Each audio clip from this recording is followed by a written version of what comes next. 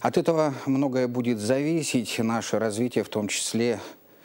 Галочки в избирательных бюллетенях поставил генеральный директор ПАО «Сургутнефтегаз» Владимир Леонидович Богданов. Свой голос он отдал на избирательном участке в здании одного из структурных подразделений градообразующего предприятия.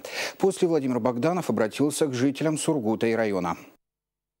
Я проголосовал, отдал свой гражданский долг и думаю, что все сургутяне, жители Сургутского района тоже отдадут свой гражданский долг, придут на выборы, потому что, э, несмотря на столь не очень хорошую погоду, как то зимнюю, осеннюю и дачный, закрытие дачного сезона, э, все-таки выбираются законодательные органы как местных